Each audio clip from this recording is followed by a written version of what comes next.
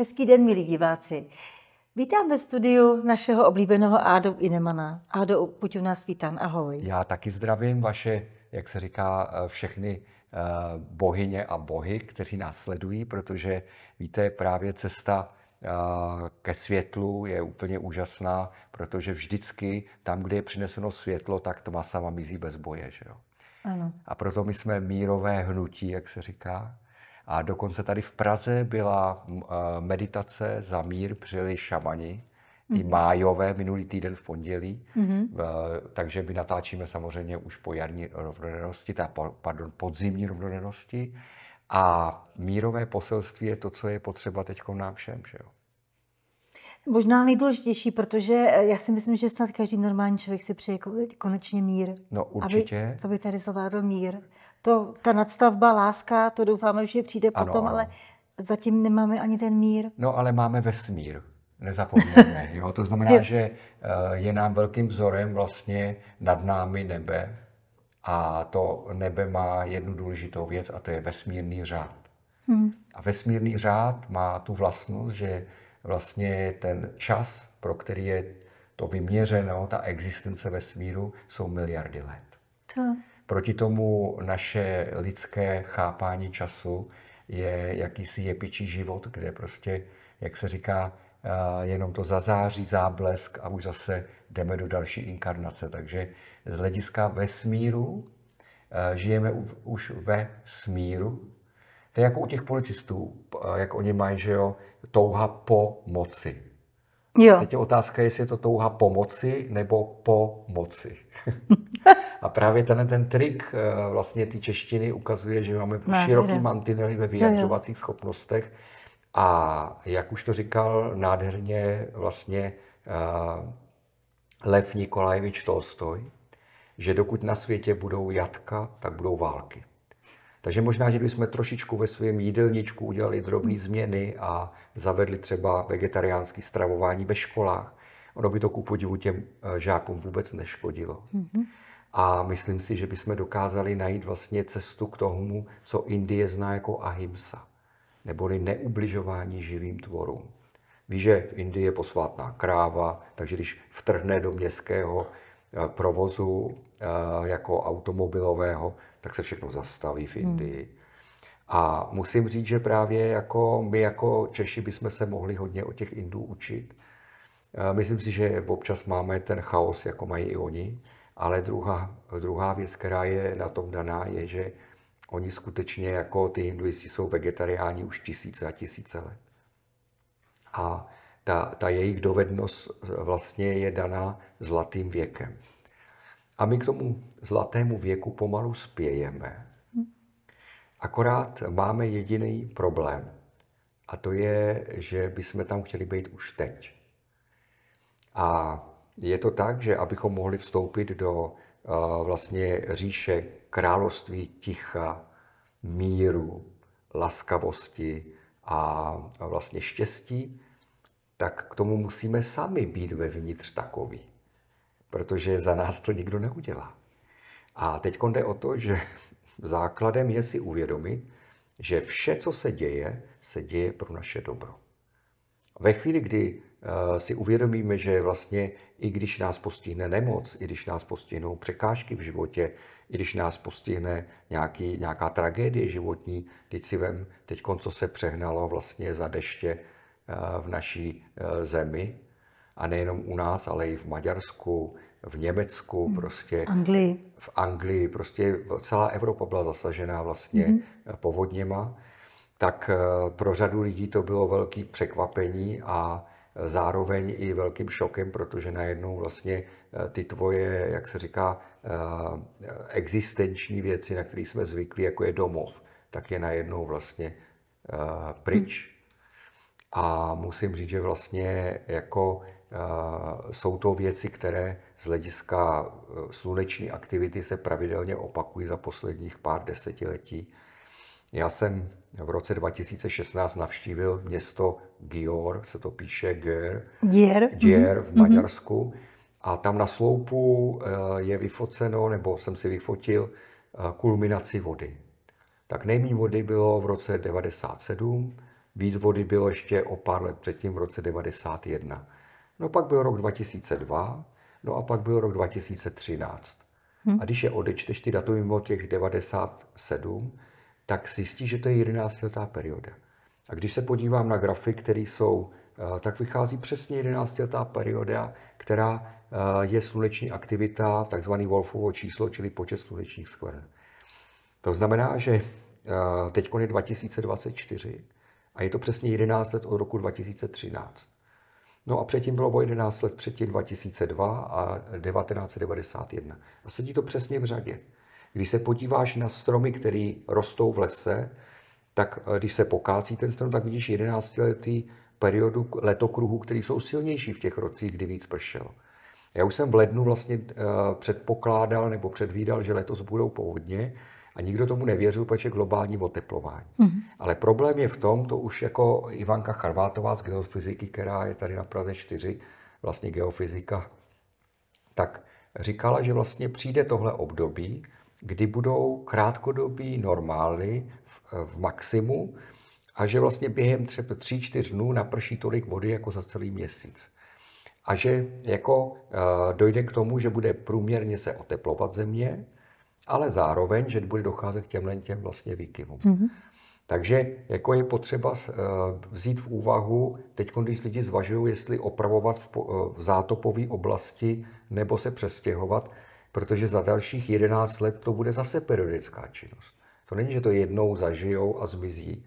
A tenhle ten problém je potřeba tu přírodu vzít vážně, protože samozřejmě na Zemi narůstá počet lidí, samozřejmě fosilní paliva k tomu vehementně přispívají, že jo, spalování. A druhá věc, která je, je, že vlastně se, víš, že teď minulý týden zase udeřil vlastně hurikán, který se uh, jmenuje jako Helena v mm-hmm, Americe. Ano. Máme tam kamarádku, která tam teď je, tak tam skutečně proběhla i evakuace těch na Floridě. A jsou to věci, které vlastně nabírají na síle. Protože vlastně jednou za 2160 let dochází k tomu, eh, že vlastně vymizí mikrodoby ledový. Do doba třeba Komenského byla doba ledová, kdy eh, mrazem eh, praskaly stromy. A tyhle ty mikrodoby ledový, které trvají něco kolem třeba 30 let, tak eh, teď v tuhle tu dobu bychom měli mít podle geofyziky dobu ledovou, kdyby to periodicky se opakovalo každých 180 let. Ano. Ale ona není, protože jednou za 2000 let se uspořádají planety do jedné přímky. A jestli si dobře pamatuju, tak v roce asi 70 5 až 78 vystartovaly dvě sondy, které se jmenovalo Voyager 1 a Voyager 2 a ty letěly vlastně celou sluneční soustavou. Nejdřív to vzali po těch vnitřních planetách a pak vzali Jupiter, Saturn, Uran a Neptun. Nikdo v té době neplánoval, že poletí tak daleko, až v 90. letech doletěli až takhle daleko. A všechny učebnice astronomie, které dneska existují, tak mají fotografie z té doby, z těch sond. A je to proto, že jednou za 2000 let se zrovna uspořádaly planety do přímky a zrovna jsme byli technicky vyspělá civilizace, která dokázala postavit sondy, které to fotografovali. Samozřejmě letěly tam černobílé kamery, ne jako tady mají naši diváci cesty k sobě, že vidí vlastně eh, barevně nás. A barevná škála se dělá tak, že před tu kameru se překlopil barevný vlastně takový štítek s barvičkama a vlastně se nasnímalo, jak která barva má odstín šedi a pak se to uměle kolorovalo dodatečně. Jo, a tyhle ty sondy dneska už letí mimo sluneční soustavu. Jsou to vlastně nejdál letící sondy, které jsme my lidi udělali. A e, dostali tu velkou rychlost díky kosmickému praku, že vlastně, když letí ta sonda a e, vlastně balisticky letí na tu planetu, ale jen tak štrejchne o vrchní vrstvy atmosféry, tak se zrychlí třeba třikrát, čtyřikrát a odebere trochu hybnosti té planety mm-hmm. a vlastně bez paliva se umí urychlit. Tomu se říká kosmický prak. A to se využilo jak u Jupitera, tak u Saturna, u Neptuna i u Pluta a podařilo se tu, eh, mimo Pluta, pardon, se podařilo tu, ty sondy vymrštit mimo sluneční soustavu. Takže jsou to nejzdálenější sondy, které jsme kdy, už jsou asi třikrát za Plutem, a díky těmhle těm sondám jsme mohli letět proto, protože byly planety do jedné přímky. To už se nikdy nestane znovu. Že nepřikáželi v cestě ano, takzvaně. Ano. A hlavně šlo letět od jedné planety ke druhé, jak je to v tom uh, atlase uh, vesmíru. Mm-hmm. Protože oni ty planety jsou, když tak uh, normálně rozházený, tak, tak různě. Ano, ano. Takže uh, teď se dělají sondy, které letějí. Třeba jsme teď připravili sondu JUICE se jmenuje k Jupiteru a předtím byl nový projekt, který se jmenuje New Horizon, Nový horizont. A to letělo k Plutu a představ si, Pluto je tak zvláštní planeta, protože má, je to hned taková tmavá, ledovitá planeta, je to v podstatě, ona je to vlastně jako trpasličí planeta, dokonce ji tady v roce 2000 v Praze vyškrtli z planet. Už tam nepatří z hlediska astronomie, protože je to vlastně transneptunická planetka, je malá. A představ si, že když tam přiletěla sonda a, a teď moderníma, krásnýma vlastně kamerama barevnýma to nafotili, tak to má normálně na sobě bílý srdíčko. Je tmavá planeta hmm. a je tam symbol lásky. Hmm. Takže ono, když si vezmeš, tak že jo, Pluto byl vládce podsvětí a Cháron byl převozník do podsvětí. A právě ten měsíc toho Pluta se jmenuje Cháron, a je to tak, jako v tom Egyptě, když tam ta bárka vezla toho do údolí králu, že jo, toho zesnulého faraona, tak vlastně my máme takového vlastně převozníka a říká se, že právě planeta Pluto je karmická planeta. A dokonce v roce 89, když vypukla u nás sametová revoluce, tak si představ, že planeta Pluto byla blíž než Neptun. To znamená, že byla najednou osmou planetou a Neptun se stal devátou planetou. To samozřejmě ty astronomové nesou těžce, když je tam takový nepořádek, se přehazují pořadí, ale je to z toho důvodu, protože jak planeta Pluto má takhle eliptickou dráhu mm-hmm. a planeta Neptun je tak, že vlastně kousek tady vyčuhovala, jakoby vyčuhovala dál. A je zajímavý, že podle Keplerových zákonů se pohybuje vlastně Pluto tady velmi pomalu a jedním znamením projde za 30 let. Zatímco když je v přísluní takzvaně, to znamená blízkosti slunce, eh, tak v tu chvíli projde jedním znamením za 10 let. A jinak průměrně za 21 let, když je to tady v těch krajních pozicích. A proto vlastně kolem roku 89 se dělo tolik změn v celé Evropě. Protože vlastně uh, dřív to bylo tak, že jednu generaci prolítávalo Pluto jedním znamením. Jinak oběžná doba samotného Pluta je 250 let. A, a takže jedno to znamení projde za 21 let, to je jedna generace. Ale právě kolem roku 89 a, to bylo tak, že, že vlastně prošlo třema znameníma postupně během deseti let.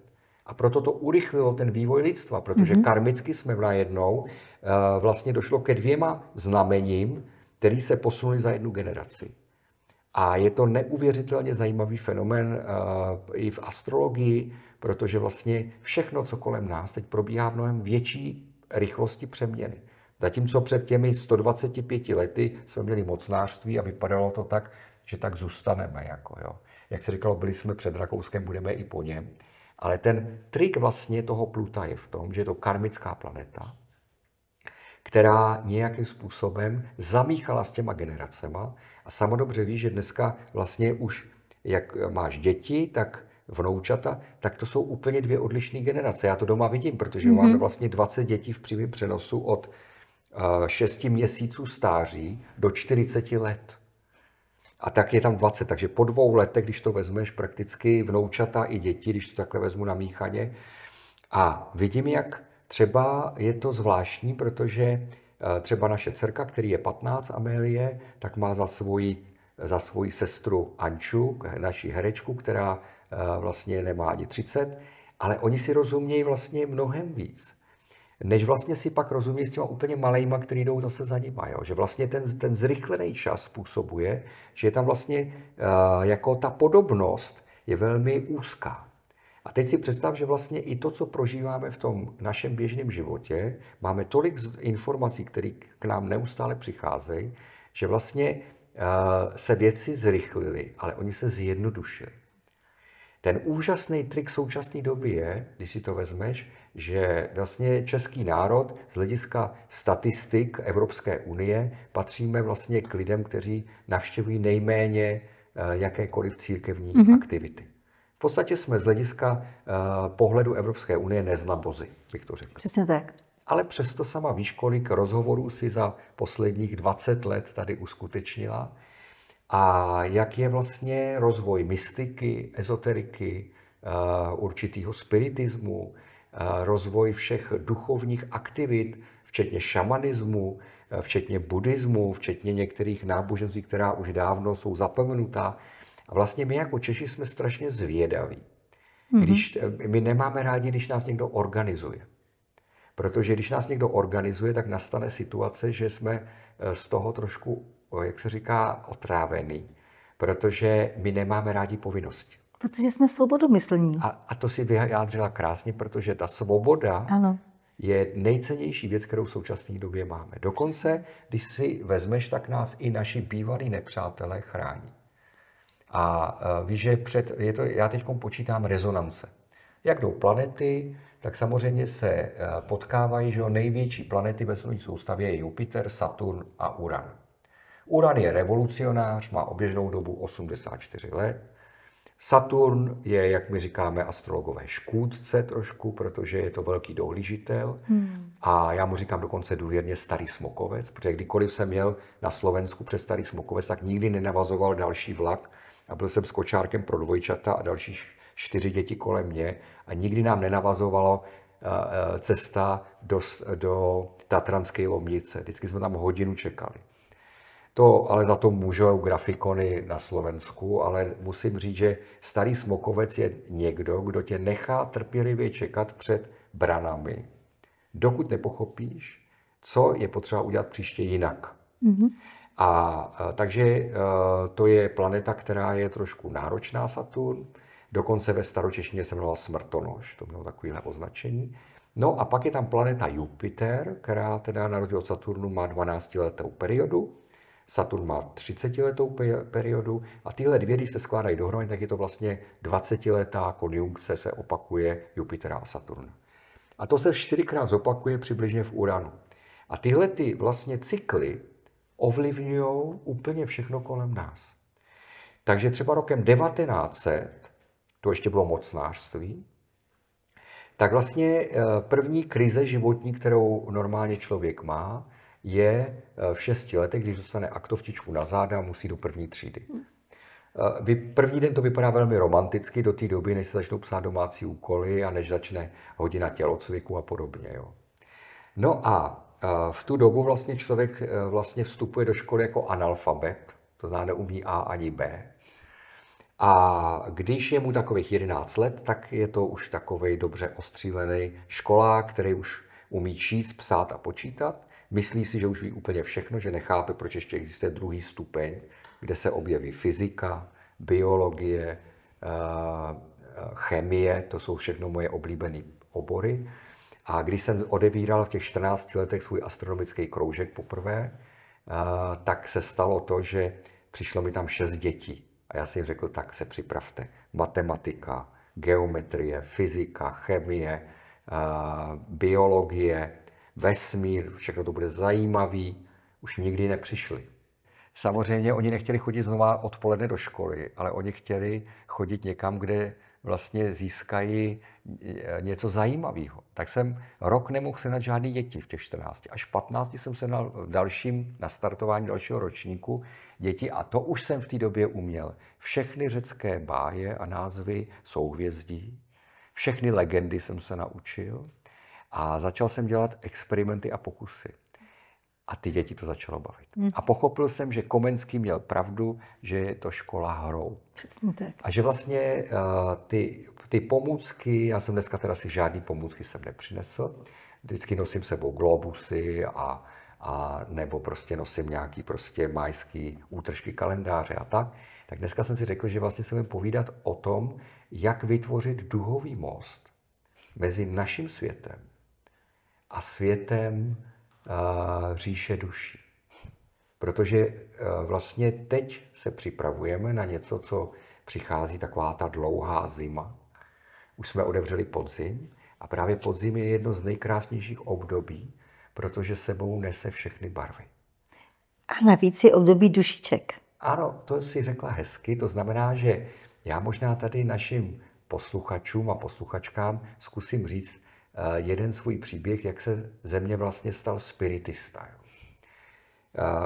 Ono se stalo to, že když byla dcerka úplně malá, byly tak tři roky, dva až tři roky, tak já jsem v té době, ještě za socialismu, barevná fotografie byla moc drahá a jako student jsem si mohl dovolit koupit pouze diapozitivní film.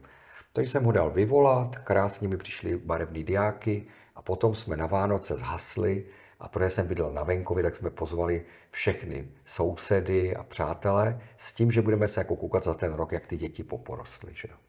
No jo, ale já jsem měl podobnou krabičku s diapozitivama o Bhagavagítě, reinkarnaci a převtělování.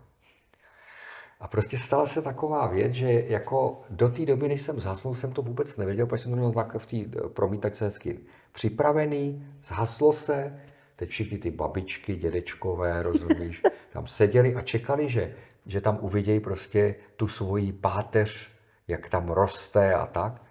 No a uh, místo toho tam přišel první obrázek z Bhagavagity, jak je tam takové jako spirálka. To vypadá, že z toho hrobu vylejzá jakoby ta duše toho dítěte a pak postupně roste do, do toho aktivního věku a pak zase ty schrbený záda a jak zase se vrací do hrobu. Takováhle tím to začínalo celý ten epos. No co jsem mohl dělat? Jiný diapozitivy nebyly k dispozici a bylo, byly vánoční svátky, že jo, 25. prosince a jako v té tmě lidi ne, ne, nevypadali, že by odcházeli, tak jsem těch 60 diapozitivů o Bhagavad dojel se vším všudy. A bylo ticho. Pak jsem rozsvítil, babička o holčice, 80 letá, se nahrbila a řekla, že to nemá zapotřebí. Bouchla s dveřma tak, že vypadla klika. Klika cvakla, dveře letí, jo. babka vchází, No prostě babička Boženka prostě se úplně urazila, že ani, že jako e, naposledy takovýhle ponížení zažila v době katolické církve. No, ale babička do půl roku umřela, víš. A v den, kdy jako umřela, tak se stalo to, že najednou ve, v jednu hodinu v noci jsem se probudil, nebo jsem byl propusen a ona na mě mluvila z druhé strany. A říká mi, babi, co tady děláte? A ona, já, já jsem se rozhodla, že budu u vás bydlet. A měl si pravdu, že po smrti ten život nekončí. No jo, ale ono to pokračovalo další týden, 14 dní. Každou noc jsem měl babi navezenou v ložnici a pro, chtěla si povídat a byla normálně jak 25 letá, mluvilo jí to prostě a vyprávěla mi svoje zážitky z dětství. Jo. Takže jsem se mu dědečka potom o víkendu zeptal, když jsem se vrátil z Prahy a on mi to potvrzoval, že to opravdu je tak. Jako, jo.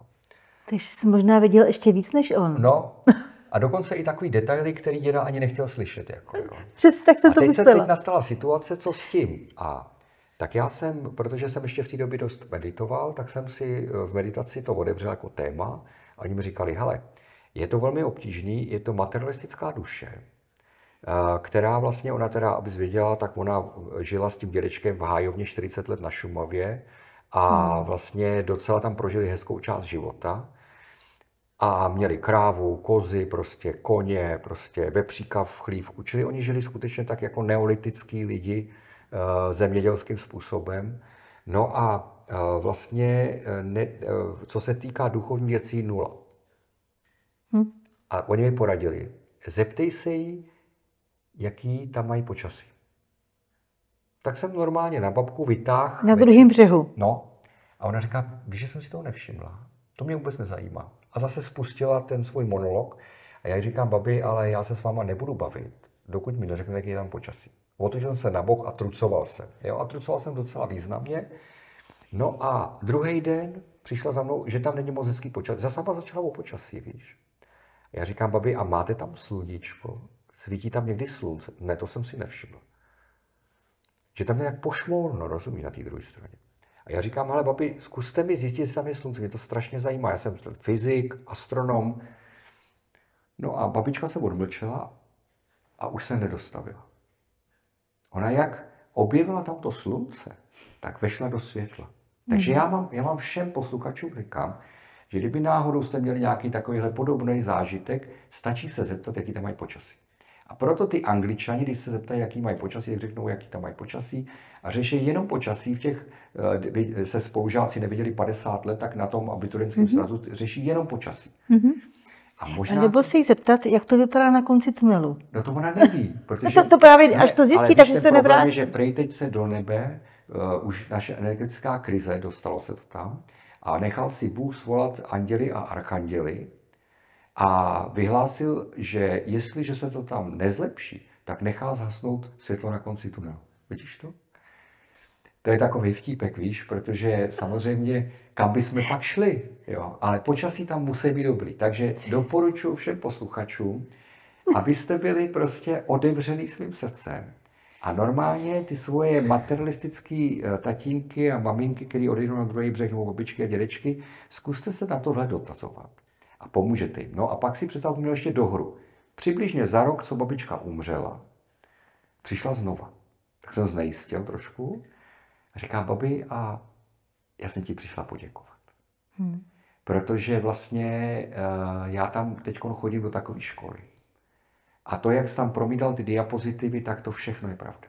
Hmm. Já jsem bych chtěla poděkovat za to, že jsi mě vlastně zachránil, protože já bych tady pořád byla, ne, nepohla bych se ani tam, ani zpátky a za to moc děkuji.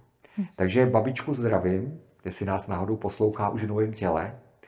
A musím říct, že pro mě to bylo veliký jako prozření, že vlastně na druhou stranu jde převést i člověka, který vlastně v podstatě ani neví, že to existuje. A právě Břetislav Kavka říkal, že to oduší kolem země je velmi složitý. A když si vezmeš, tak na podzim je spousta semen v půdě, který vlastně čekají celou tu zimu, aby nepromrzly, a je tady i řada duší, který vlastně do té druhé strany, někdo to už ví, někdo jenom tuší. A je jenom jeden kapitán a jedno hřiště. A kdo to nepochopí teď, tak to pochopí příště. A vlastně tahle ta cesta do říše duší je krásná v tom směru, protože země vlastně po dobu 13 tisíc let byla jako zavřený ořech kde v podstatě se nic nedělo. Bylo to takový složitý, protože nám, jak víš, vládli muži 13 tisíc let. A kolem roku 2012 při vrcholení majského kalendáře, nebo jestli chcete, tak už v roce 1998, což je 3x666. Třikrát čerma byla puštěná v roce 666, 1200, uh, pardon, 1332 a pak 1998. To je všechno násobek 666. A kolem roku 1980 až rok 2016 vlastně došlo k tomu takzvanému shiftu, kdy jádro galaxie, Slunce a Země a zimní slunova byly na jedné přímce a došlo k takovému vlastně velkému seřazení a tehdy se došlo, došlo k tomu, že se Země spolarizovala do jinové energie, kde ženy chtějí vždycky spolupracovat, na rozdíl od mužů, kteří soupeří. Že jo. Ženy dokážou každého muže odzbrojit láskou, zvláště když nejsou oblečené. Že jo. Uh, ženy dokážou úsměvem uh, prozářit celý domov. A řekněme si otevřeně, že láska prochází žaludkem. To znamená, že dokážou eh, svými kulinářskými dovednostmi prostě úplně změnit celou atmosféru domova, protože hmm. to je... A pak je tam samozřejmě další důležitá věc a to je, že jejich srdce je plný lásky. A ty české ženy právě mají tu vlastnost, že oni vlastně, ač šli jakýkoliv armády přes tu naší končinu, tak vlastně přežili díky tomu, protože oni se asimilovali. Eh, vím, že třeba po, v době 30 leté války tady z 3 milionového národa zůstalo eh, vlastně v tom počátku 17. století pouze 300 tisíc žen. Jo. To eh, vlastně ty ženy nesly vlastně to břímně vlastně národa na svých bedrech. A musím říct, že vlastně teď přichází chvíle, kdy skutečně ženy a muži, dneska se to jmenuje moderně genderově vyvážený musí být. Jo. Ale my už to jako Češi umíme, protože my dobře víme, že vlastně uh, není potřeba, aby jsme soupeřili mezi sebou jako muži a ženy. A aby jsme se milovali. Dokonce Komenský říká, že protivy neboli protiklady tady nejsou proto, aby spolu soupeřili, ale aby se sjednotili. A teď vlastně, když si vezmeš, tak uh, je spousta věcí, které změnili vlastně naše povědomí o duchovních věcech.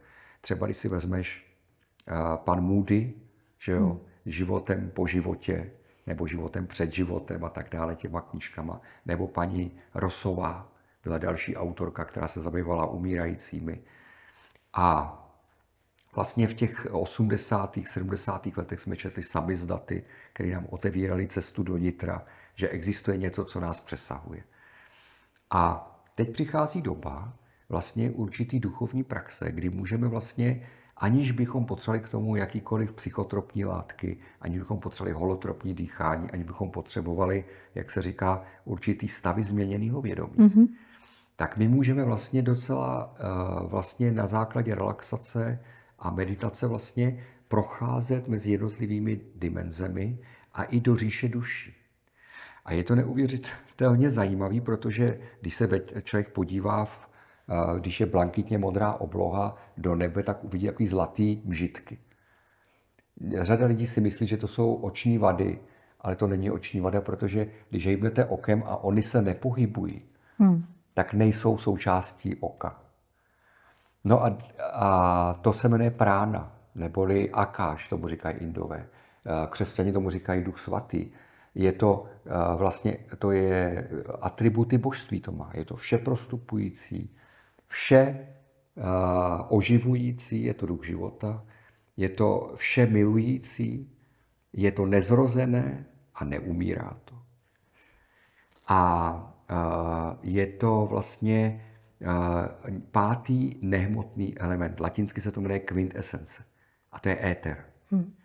Éter většinou angličani překládají jako prostor, což je nesmysl.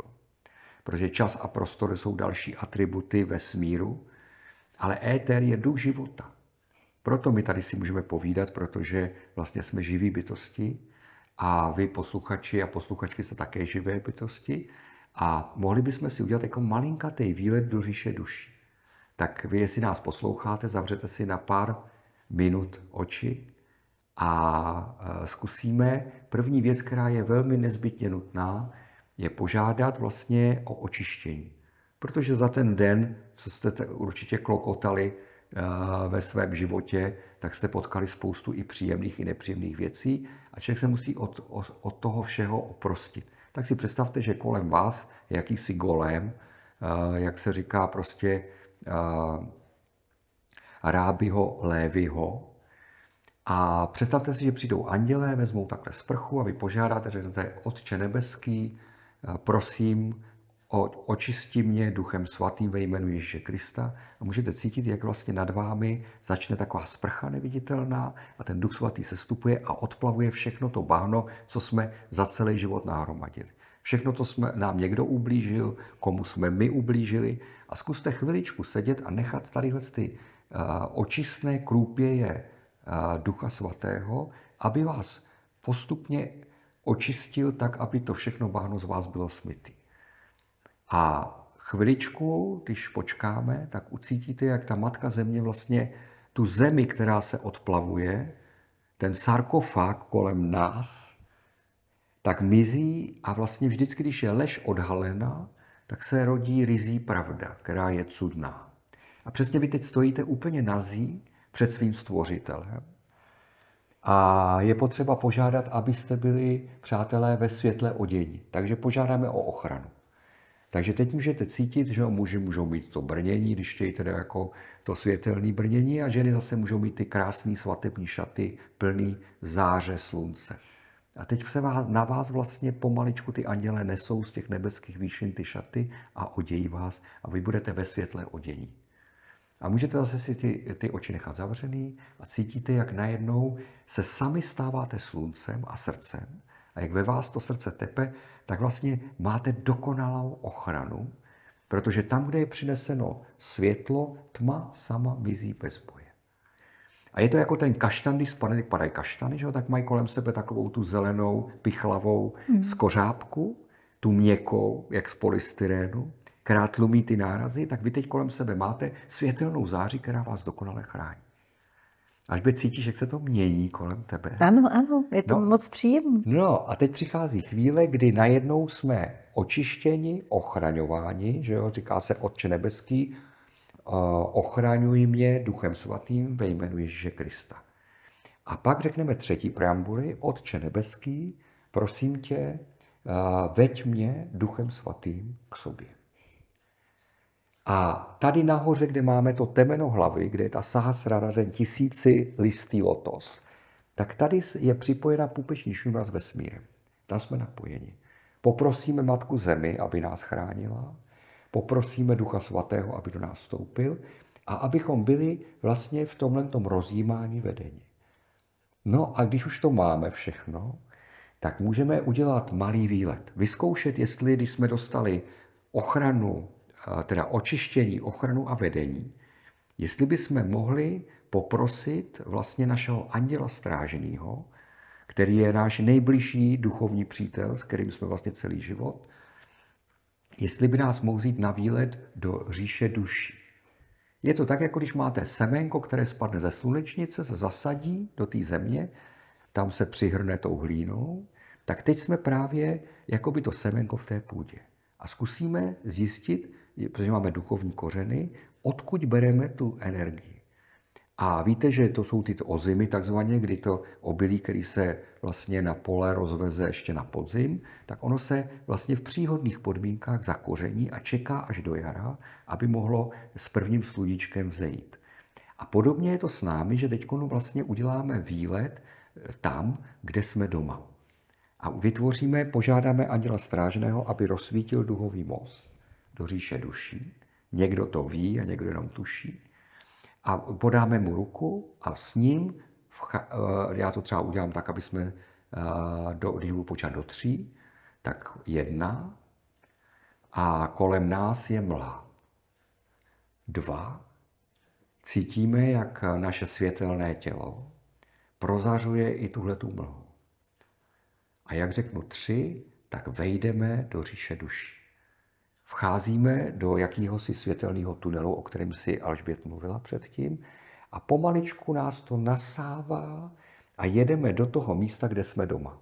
Tak jako když jsme byli na internátě, tak jsme se vraceli domů každý víkend, aby jsme přeprali to oblečení, aby jsme si popovídali s příbuznými, tak my stejně tak teď plujeme do říše duší. Úplně cítíte lehko zbytí najednou, to tělo nechte v té místnosti a nasává vás to a vy letíte vlastně do říše duší.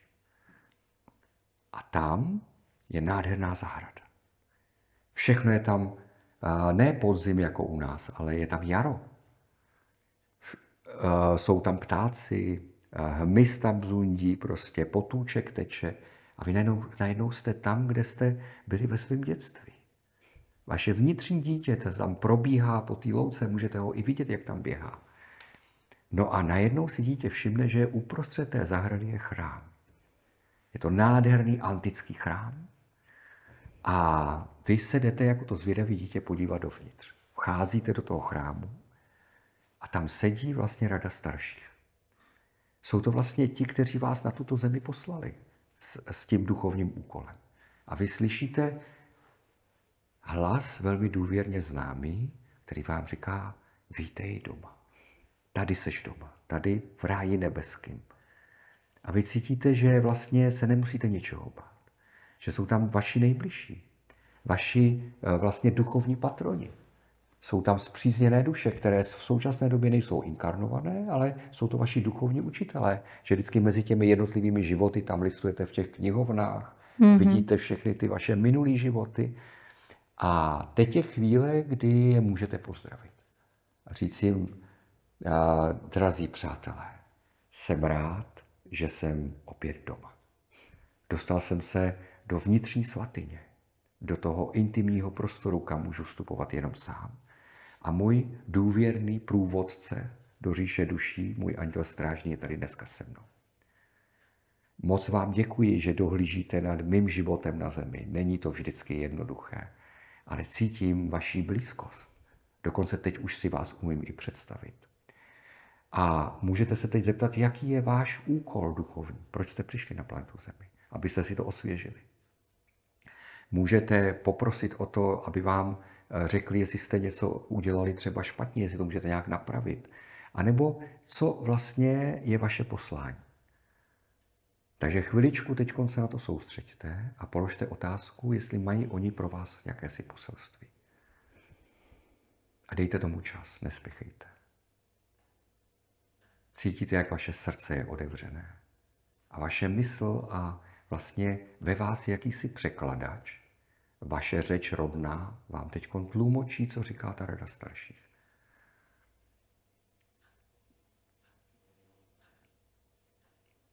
Já třeba teď slyším, že jsme tu správně, Alžbět. Že to je to, proč jsme se narodili. Aby jsme dávali těm lidem naději, lásku a víru. A právě ten podzim, ať se dny postupně zkracují, tak ale o to jsou delší noci, kdy můžeme meditovat. Kdy můžeme tímto způsobem hovořit vlastně. A teď si představte, že ten, který tam předsedá, říká, milý synu nebo milá dcero, pojď k nám, my tě obejmeme. A teď můžete cítit, jak oni vám vlastně žehnají, přikládají na vaši hlavu ruce a zahrnují vás ty anděle, kteří tam jsou křídlama a dávají vám energii na to, abyste zvládli všechno to, co jste měli tady na zemi splnit. Protože jste dobrovolníci, kteří sem přišli dobrovolně. Cítíte se občas na zemi nepatřičně. A teď jste se vrátili domů. Teď vám vlastně všichni vás tam přivítali. Mají vás tam rádi a zároveň vám říkají, že cokoliv budete tady na zemi konat, tak bude pod jejich ochranou. Bude to vlastně ta nejvnitřnější svatyně vašeho srdce. Zavřeli jste okenice i dveře svého rozumu a vnímání všech smyslů a teď jste tam, kde jste doma. A tenhle okamžik si nenechte nikým a nikdy vzít, protože je to velká vzácnost. A vidíte, dokázali jsme všichni, co teď se na nás díváte, vstoupit do eh, nádherného prostoru, který je ve vás. Protože Boží království je ve vás, říkal Kristus. A zároveň je mezi námi. A e, zeptejte se, jestli mají ještě pro vás, když vám žehnají a přikládají na vás svoje ruce, jestli mají ještě nějaké poselství. A opět chviličku čekejte na to, co vám teď vaše vnitřní tlumočník, je to jako když jste u audience e, v, v radě Fortuna, neboli Štěstěny, labirintu světa ráje srdce, který Komenský před čtyřmi lety napsal. Ale vy jste teď už v ráji srdce. To je víc než království štěstěny fortuny. A poslechněte si poselství, které vám říkají na rozloučenou, protože se budeme muset vracet. Zase zpátky do reality. Ona je to taková reality show tady, že jo, Alžbět. A takže ještě nechte oči zavřené, vyslechněte si větu, kterou vám říkají.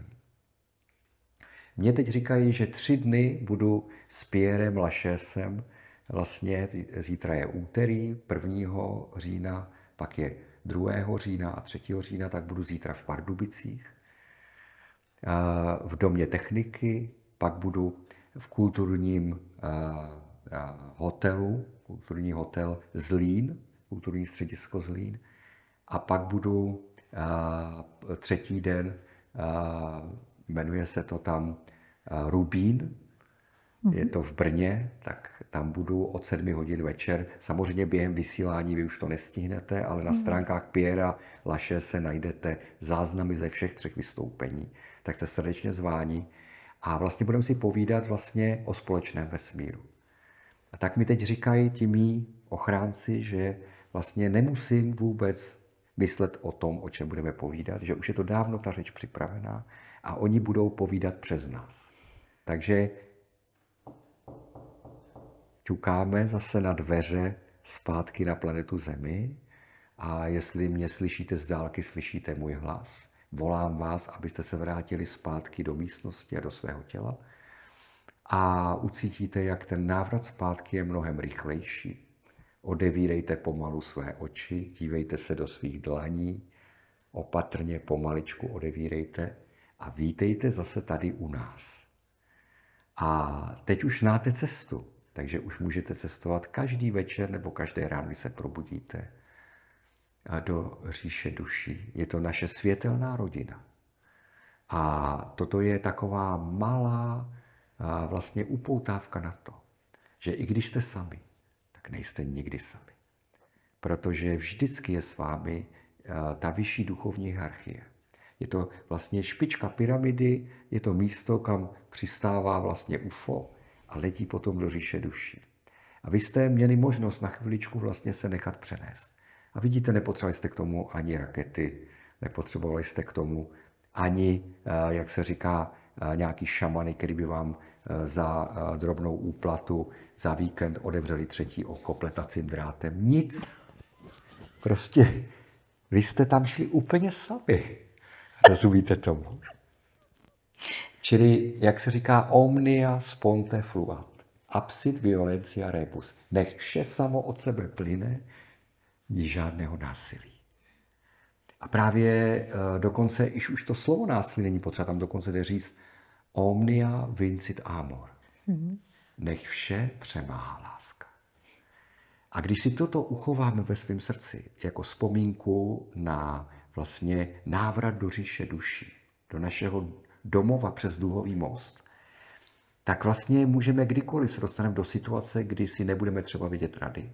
Tak já to dělám tak, že když se dostanu v životě do situace, kdy si nevím rady a je příliš neklid v daném prostoru, tak se omluvím, že potřebuji odejít na záchod. To je společensky únosné, Alžbět. A ještě si řeknu, měj se moč dobře a odejdu na záchod. Rozumíš? Tam si sednu a chviličku se soustředím a říkám, eh, Otče nebeský, prosím tě, jak mám danou situaci vyřešit? Poraď mi. A eh, ve chvíli, kdy se vracím už eh, z toalety, tak vejdu do, do té situace, kde se ta atmosféra už změnila. A jak říkal správně Jan Amos Komenský, že v některých situacích, kdybychom svojí pravdou ublížili bližnímu svému, zakázal nám Bůh mlčet. Právě to mlčení někdy umí přenést tu velmi těžkou atmosféru. Protože si musíme uvědomit, že nedělejme věci lidem ty, který nechceme, aby dělali oni nám. A e, samozřejmě se někdy stane, že vejdete zpátky do té místnosti, kde byl ten neklid a oni, ty lidi, už tam nejsou. Protože když jste odešli vy jako ta klíčová osoba, aniž byste si mysleli, že jste klíčovou osobou, tak oni se rozprchli, protože vy přicházíte se světlem a tma se světla bojí. A dokonce i Michelangelo měl nádherné přísloví, když náhodou se stane, že byste měli něco vysvětlovat, pro Boha nic nevysvětlujte. Přátelé to nepotřebují a nepřátelé vám stejně nevěří.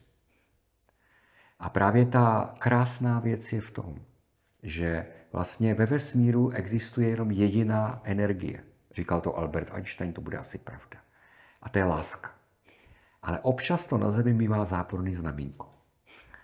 A já si myslím, že kdybychom se drželi Alberta Einsteina v každodenních praktických věcech a řekli si opět jednu úžasnou preambuli, že inteligentní lidé problémy řeší, ale géniové je nevytváří. Takže přátelé, jestliže jste už navštívili říši duší společně eh, s námi Alžbětou a Ádou, tak eh, prosím vás, vás chci poprosit, abyste se přenesli do úrovně géniu. Protože pak už nemusíte nic řešit. Žádný problémy nebudou vznikat. Budete osvobozeni, nastane jakási amnestie a vy třeba nestihnete jednání včas. Ale co když tam nemáte být? Neomlouvejte se, protože to není potřeba. A co když se stane, že vlastně se objevíte někde a přistínete někoho inflagranty, jak se říká, eh, v, eh, v takové nepříjemné intimní chvilce? Tak poděkujte vesmíru, že jste prozřeli. A prostě nemůžete žít s partnerem, který vás nemá rád. Přece. Všechno, co se děje, se děje pro vaše štěstí. A musím říct, že mám velký štěstí, že jsem natrefil v životě při té své pouti na úžasný přátelé. Teď nedávno jsem navštívil Aničku Struneckou, hmm. Která měla bohužel na konci prázdnin úraz. Ale já, když jsem přišel za ní do nemocnice, tak jsem zjistil, že jsem po s Gabrielou Filipy jsme ji navštívili. My jsme se tak nasmáli za tu, za tu hodinku a odcházeli jsme vlastně ve lepším psychickém stavu, než jsme tam přišli. A z Aničky vyzařovalo takový neuvěřitelný srdce plný záře slunce a laskavosti. Že jsme se dostali potom ven před ten, eh, před ten eh, vlastně to byla jako, jako eh, LDNK, tak jsme říkali, hele, vlastně ta Anička je úžasný sluníčko. Takže Aničku zdravíme, protože už je doma v domácím ošetření. A musím říct, že se velmi těším na to, že se s Aničkou potkáme 7. prosince na Hrubé skále, kde budeme mít opět setkání léčitelů v Čechách, v Českém ráji, je to od 9 od rána. A v prosinci přijede Gabriela Filipy 7.12. a zároveň bude tam nádherný adventní koncert paní zbormistrině Konvalinkové z Liberce přímo v kapli na zámku Hrubá skála. Takže přátelé, jste zvaní všichni, moc se na vás těšíme a samozřejmě do konce roku bude spousta různých videí, akcí, všeho možného, protože tenhle národ, přátelé, letošním rokem vstupuje do portálu, který se jmenuje Láska. A teď řeknu proč. Víš, že mě zajímají všechny cykly, po kterých se opakují dějiny. A vlastně my jsme dlouho nemývali, protože teď, teď o víkendu bylo svátek svatého Václava, tak eh, víme, že svatý Václav nebyl králem českým, ale byl eh, vévoda české země. Protože neměl královskou korunu, nicméně, když Karel IV. postavil Karlův most, tak tam je vinný sloup, který dneska stojí u kostela křižovníků a na něm je nahoře eh, svatý Václav na tom vinném sloupu a má vlastně takovou vévodskou čapku.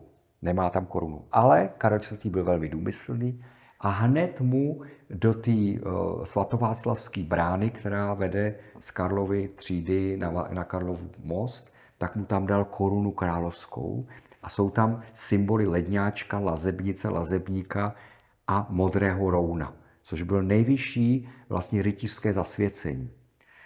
No a, a tady ta věc se vlastně změnila Eh, protože víme, že svatý Václav odešel rukou Boleslava v roce 963 nebo 65, ono se to neví přesně to datování, a to je 13 x 72. To byl jeden základní cyklus a pak odsud se vyvinul druhý cyklus a rok 1872 je dalších zase 13 x 72, když se přičte k tomu vlastně zavraždění svatého Václava. A to je vlastně už eh, eh, národní obrození v plném proudu, že jo? Protože 1881 bylo otevřeno Národní divadlo, nebo položený základní kámen. Čili jenom jsme si to trochu dali, že vlastně satisfakce po tom svatým Václavovi bylo vlastně národní obrození. Ale v roce 1212 byla Zlatá bula sicilská. Na to navazovalo 1415 mistr Jan Hus, mezi tím uběhlo 203 let.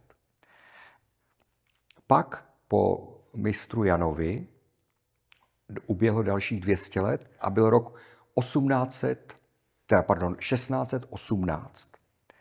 A 1618 byla vlastně eh, doba druhé pražské defenestrace, povstání českých stavů a vyhodili jsme Klamartinice a, a eh, Slavatu z okna Pražského hradu, včetně kalamářníka, čili písaře. Ty tři vyletěli z okna. Ku podivu spadli do hnoje, jak už to u nás tak kolem hradu bývalo a nic se jim nestalo.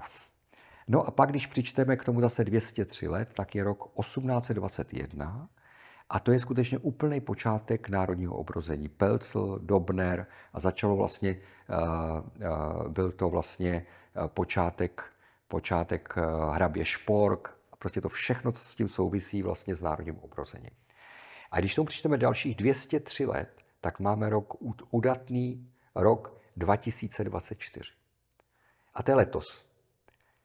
A jak to, že se nic takového neodehrálo? Je pravda, že to bylo eh, jako určitý negativní síly už působily eh, v loňském prosinci, kdy na Filozofické fakultě došlo k ne, eh, docela nepříjemné situaci, kdy vlastně tam byl odstřelovač žák té fakulty, který si dokonce v bance půjčil peníze na nákup těch zbraní, což je úplně nepochopitelné, že to nikomu nepřišlo divný. A myslím si, že to je věc, která předznamala na, na ten náš letošní rok 2024. A právě v tom letošním roce se odevřel portál a na to jsme měli tady spolu povídání a to bylo vlastně, kdy se objevily tři osmičky. To byla Lví brána, se odevřela mm-hmm. 8.8.2024, na to jsme měli předchozí rozhovor. A vlastně teď, jak budeme postupně vcházet vlastně do toho podzimu a zároveň potom do adventu, budeme pak dělat další rozhovor k adventu, tak musím říct, že vlastně teď v tuhle tu chvíli jsme prošli jako země Česká určitou očistou.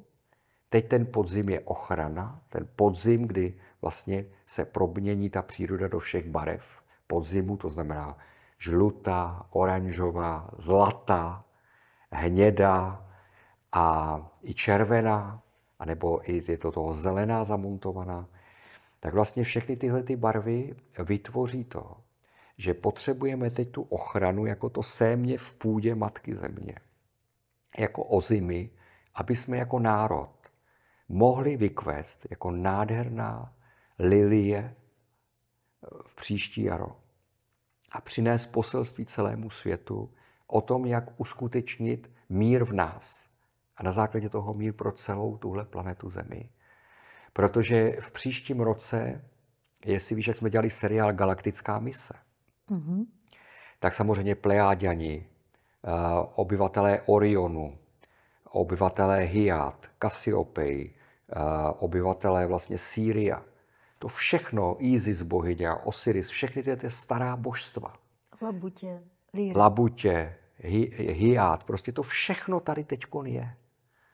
Orla dokonce, mm-hmm. že jo, mhm. Aquila se to bude latinsky, Liry souhvězdí, kde je polárkou, za 13 tisíc let bude zase Vega.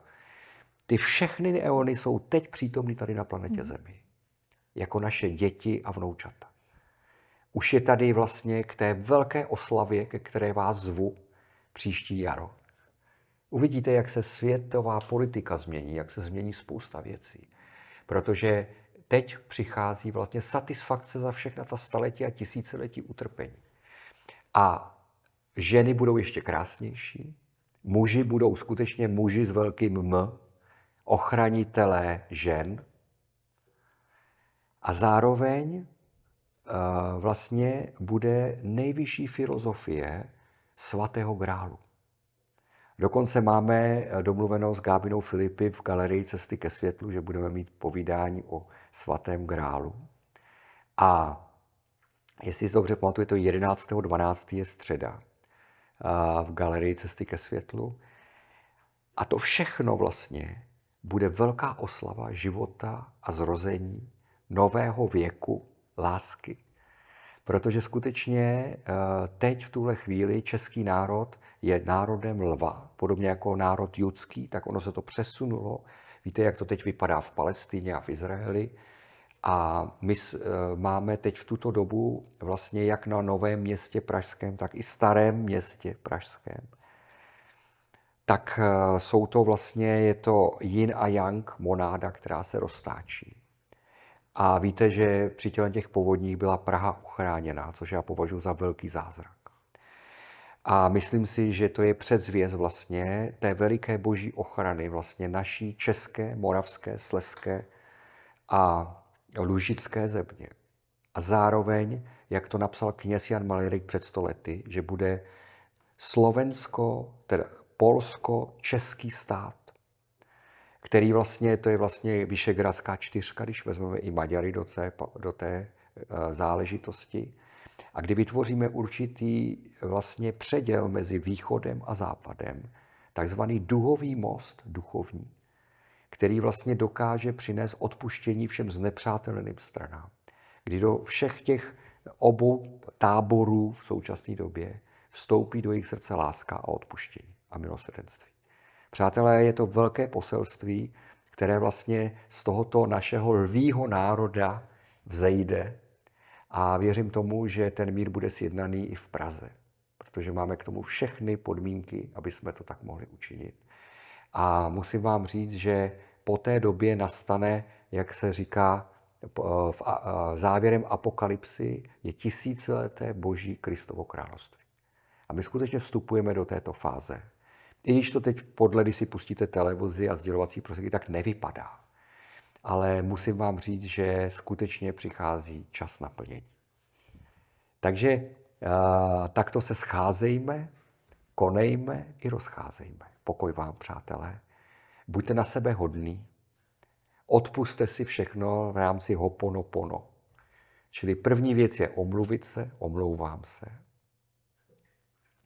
Druhá věc je odpust mi. Třetí je odpouštím ti. A čtvrté je miluji tě.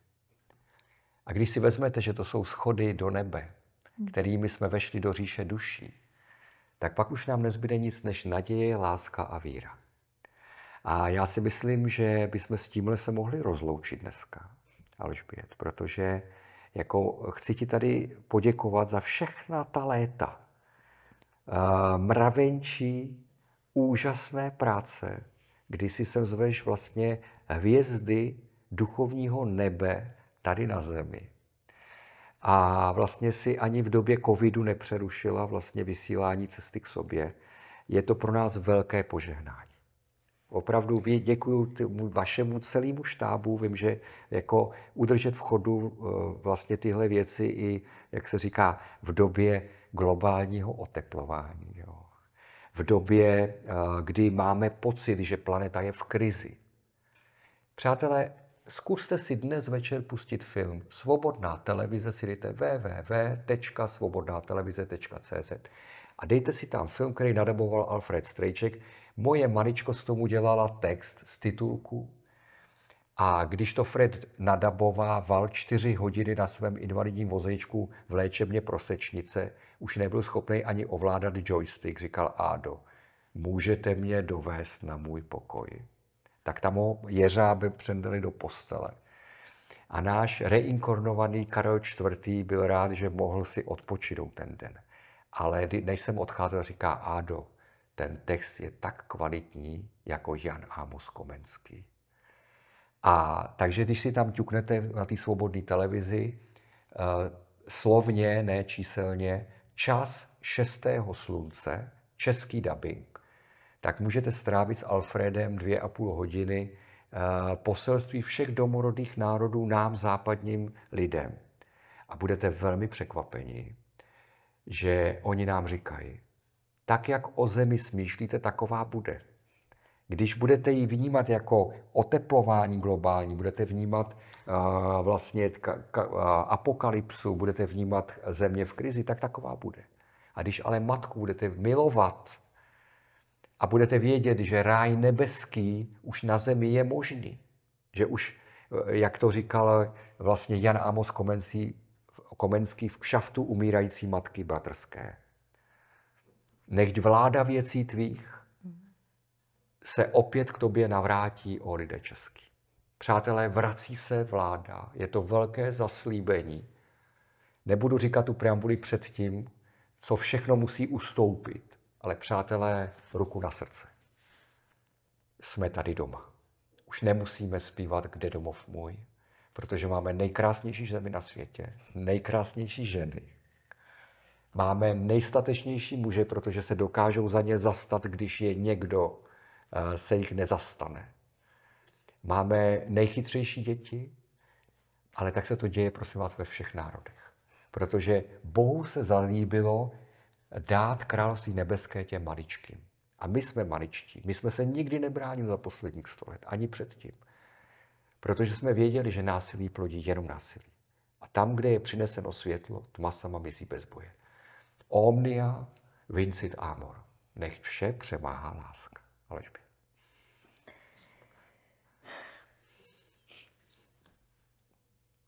Řekl jsi vše. Vše bylo řečeno. Děkuju. Čas se naplnil. My děkujeme tobě. Alžbět. Já ti děkuji za všechno. Za ty léta, že to za to stojí stále. A my děkujeme tobě, že jsi to vydržel a že pokračuješ dál, že neseš to pochodlení světla dál. Já děkuji vám všem, přátelé. Jak tomu nemám slov. Nevím, co bych měla říct dál. Jsi prostě naše láska. Hmm. Máme Ale ty taky, víš. No. Tak kráčíme dál bradou ano. lásky. Přesně. Mm-hmm. Vešli jsme portálem a neseme světlo. Ano. To stačí. Není potřeba nic víc. Je potřeba s tím světlem jenom důstojně vejít. Yeah.